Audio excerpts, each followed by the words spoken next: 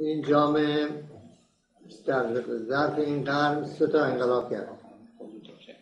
اول قرن انقلاب کرد انقلاب مشروطه 1905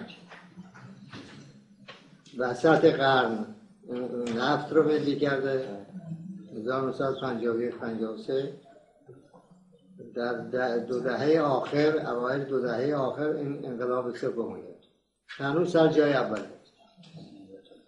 پس یک نقص اساسی وجود داره تا اون رفت نشه مشکل ما حل نمیشه.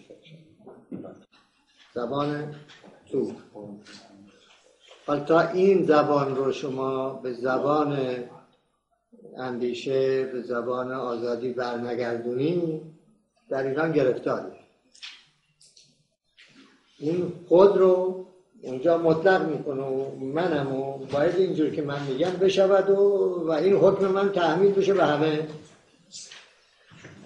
و این عمومیست تو ایران ولایت مطلقه فقیه پدیده ای نیست که آقای خمینی آورده باشه.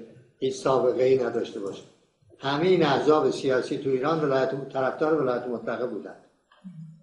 یعنی رهبری هاشون ولایت مطلقه داشتن. حزب توده اینطور بود. دیکتاتوری پرولتاریا دیگه که چپ بودن دیکتاتوری پرولتاریا تبلیغ می‌کردن. اونایی که سلطنت طلب بودن شاه العنا چو فرمان یزدان چو فرمان شاه. اونایی هم که مذهبی بودن که هرچی آقا فرمود امام فرمود. پس این یه چیز عمومی است. این چیز عمومی بر اثر کوشش مداومی که در مبارزه با این ولایت مطلقه به کار رفته امروز خیلی در ایران ضعیف شده. اینکه شما میگید که اینها در ایران هیچ پایگاه ندارن لحاظ ضعف این شیوه رفتار سیاسی است که زور است و خشونت این در ایران هرچه بی اعتبارتر می شود این سرنگونی به اصطلاح واقعی تر و این مردم سالاری که برقرار می شود پایدارتر. و این نشون میده که این دو دهه مبارزه و این مبارزه این نیست که فقط تبلیغ بکنیم و بگیم که خشونت بد است و خشونت زدایی اینطور است و اون که اونجور است. و تبلیغ تنها نیست. به ابتلا و آزمایش هم هست و این مهمتره. اگر اینها بی اعتبار شدن برای اینکه در امتحان اجتماعی واقعی واقعی خودشون نشون دادن. مثلا این آقایانی که دیشب هم بودن اینجا دیگه می‌گفتن من در کردستان دیروز برای اولین بار گفتم ما برای خودمختاری جنگ رو انداختیم. خب این در آزمایش معلوم شد اینا دروغ میگن اگر نه که این قدم عصبانی هم عصبانی از این نیستن که اونجا در کردستان در واقع عکس این بود. یعنی آقای صدام اگر موفق می‌شد مسئله کرد رو از طریق کشتار حل می‌کرد. پس اگر کردها کشتار نشدن بخشش به لحاظ این درست عمل کردن ما بوده. اینها در وسیله دست صدام شدن و جنگ رو راه انداختن و می‌خواستن قوای داخلی ما رو گرفتار کنن که وقتی حمله می‌کنه مقاومت نباشه. آقای اریک رولا اون وقت نماینده لومون بود در ایران. طرفدار همین آقای دموکرات اینا هم بود دموکرات کردستان اینا آمد پیش من که خب اینا که شما موافق بودی و اینا گفتم والا اینا خودمختاری درو میگن نمی‌خوان. بهانه شده شما برو باید در محل باشون صحبت کن. و اگر دیدی که واقعا جدا خودمختاری می‌خواهن خبر کن من. از اونجا رفت بغداد. از کردستان رفت به بغداد. از اونجا رفت به فرانسه. یک مقاله بلند بالا تو رو نوشت. که نتیجه تحقیق خود من به این نتیجه رسید که اینها با روابطی با حکومت بغداد دارن امکاناتی از این حکومت می‌گیرن و نمی‌توانن مستقل از این حکومت عمل بکنن. به خود مختاری هم بحانه کردن بلا حکومت مرکزی آماده بود که این رو عمل کنه. خب این در تجربه جامعه کرد دید که اینا دروگو بعد از 21 سال خلاف کرده جنگ ایجاد کرده یکی از عوامل اساسی تجاوز عراق به ایران بودن. آمده طلبکاری می‌کنه.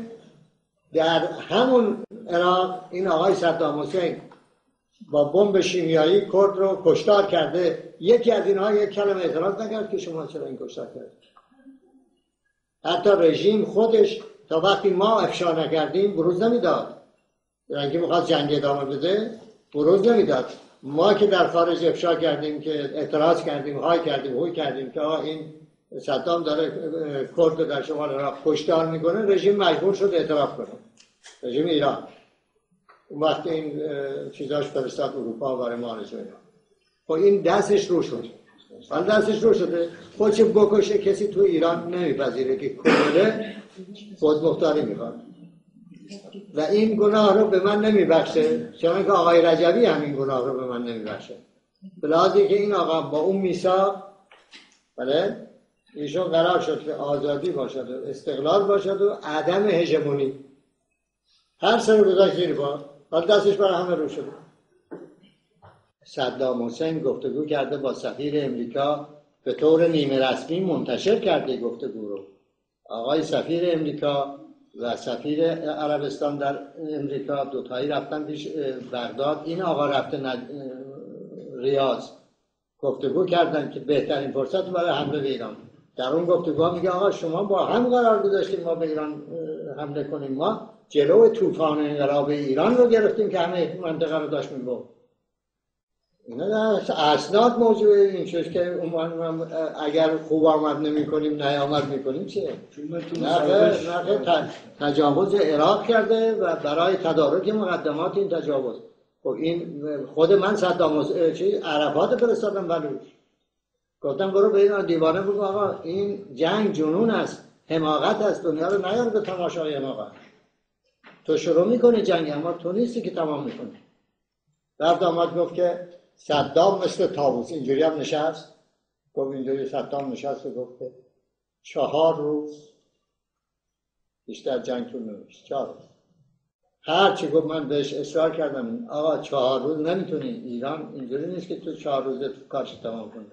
گفت چهار روز. اگر حد اکثر یه هزار تا این آقا روزنامه‌نگار دعوت کرده بود بغداد. همین هم دروغه. همه رفته بودن اونجا منتظر بودن آقا بره در اهواز جشن بگیره. بله نه جنگ اینجوری بود و توافق امریکایی ها کشورهای عربستان شیخ نه پس مفت خرجی رو می‌دادن جنگ می‌دادن سر دعوای حمله به کویت ایشون سر مطالبات اون پولا شد. گفت من برای شما جنگ کردم حالا پولم می‌خواد نمی‌خواست بده مطالبات اونا وزیر دفاع انگلیس رفت توی دادگاه گفت جنگ در سود انگلستان بود اسباب ایجاد و ادامهش ما فراهم کردیم. از این روشنتر ما سند تو دادگاه گفت جنگ رو آقای صدام حسین شروع به قصد جلوگیری از طوفان انقلاب ایران شروع کرد. نه اونجور هم نیست که اگر جنگ شروع نمی‌شد آقای خمینی می‌توانست دیکتاتور بشود. اینجور نیست. من موافق نیستم. ما کاملا می‌توانستیم که این آقا رو مهار کنیم. حتی با وجود جنگ اینا خودشان را دیگه یواش یواش دارن می‌نویسن دیگه همین عبور از بحران رو بخونیم. اینها رفتن پیش آقای خمینی در همین اوائل اردیبهشت. قبل از اون سخنرانی که از آقای شش بهمن یه دفعه شش اردیبهشت گفت که همه بگویم بله من میگم نه. بعد 25 خرداد دوباره تکرار کرده قبل از این رفته بودم پیش او که آقا الان وضعیت بنیسر طوریست که همه روحانیت جمع بشه نیست.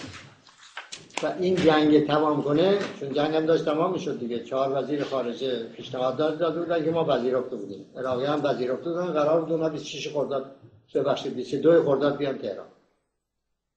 تمام بشه. اگر این جنگ تمام کنه سوار تانکاش میشه از مرزها میاد تهران شما هم دیگه حرکش الان باید زدش اینجوری بود. نه اونجوری که اگر جنگی شروع نمی‌شد استبداد می‌تونست در ایران پیش ببره. اونجور نبود. حالا به هر حال جنگ رو عراق شروع کرده. بدون هیچ گونه تحقیق اونم که سازمان ملل تصدیق کرده هوایی که تصدیق نکرده. با اینکه تفرم می‌رفتن دیگه. سرانجام مجبور شدن بگن قبول کنن که بابا این متجاوز صدام میده حالا به این جنگ هشت سال شروع شروع کرده ادامهش این آقایان کرده برای مقصرم. ادامهش دیگه به پای آقای صدام نیست. از خرداد شست ادامهش با این آقایان برای حفظ نظامشون و استبدادشون این جنگ رو ادامه و یک جریان سیاسی که شناخته شد به این ملتی.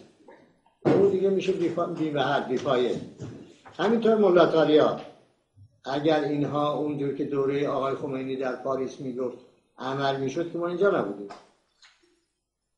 وقتی شروع کردن به استبداد اگر این ابتلا انجام نمی گرفت که قدم به قدم این آقای خمینی مجبور میشه بیاد جلو بگه منم. چون اول که عقب میمون. می‌کردن کارا رو می‌گفتن آقا میگون نه آقا این خلخالی این کشتار کرد چه اینجوری کرد؟ میگم اینا رو به من نچسبونید. من حتی یه دفعه بهش گفتم که خب شما میگید به شما نچسبونم. به چی به کی بچسبونم؟ بنویس روی که این کارهای دادگاه انقلاب به من مربوط نیست. اگر از امروز به بعد اینها توانستن سر یه مرغ ببرن با من. مسئولیتش با من؟ حاضر نشد بنویسه. پس مجبور شده هی بیا جلو. ما قدم به قدم او رو مجبور کردیم یا به جلو بگی خودم. خودم تا اونجا که آمد گفت 35 میلیون بگوید بله من میگم نه. حالا دیگه دستش رو شد. جامعه ایرانی فهمید که این آقا استبداد می‌خواد قدرت استبدادی می‌خواد. جانشین های اون هم همینطور. حالا که در این رأی گیری من شد اینا زیر پنجر شده توی جامعه ایران. این اطلاع ها رو میباید بها داد فراوانتر کرد. مثلا خود این آقای خاتمی. اینهایی که می‌روم به عنوان ستایشگر آقا اصلاح کمک کنیم و تحول از این طریق می شود اگر به آزمایش می آوردم اونجور که ما می‌کنیم با او. زودتر مسئله ایران حل می شد از اون انتخابات تا این انتخابات این چقدر تحول شده. این تحول رو کسانی به اصطلاح عاملش هستن که نه ستایشگر یک طرفه بودن نه فوش دهنده همینجوری به عنوان که چون رژیم هست یک سره باید بهش نه. اصطلاح گفتن آقا شما میگی اصلاح این اصلاح بفرمایید این چجوری عمل می‌کنیم این هم راه حل. قدم به قدم و این به تدریج آمدید که نه تو این سیستم نمیشه باید اصلاح کرد. حالا بخش مهمی از این جامعه الان آگاهه. همین مشروع ما ادامه بدهیم می‌رسیم به یه جامعه که این فرهنگ مردم سالار پیدا کرده. من خیال می‌کنم این مقدار طولانی است البته با مسلحانه اینا نیست که. و بشه. ولی به نتیجه قطعی می‌رسه و جامعه ما می‌شود یک جامعه دموکرات. این راه حلی که ما رفتیم.